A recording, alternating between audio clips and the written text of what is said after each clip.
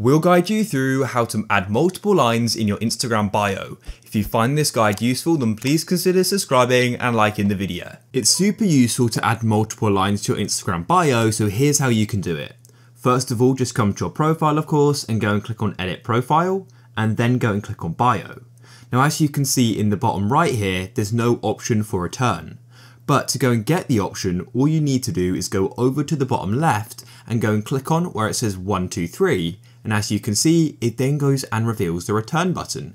You can then click there like so. Now, if for whatever reason you don't have the return button there, then there still is an alternative. Come out of Instagram and open up your settings, scroll down to general, and then scroll down to keyboard, and scroll down again and enable dictation like so.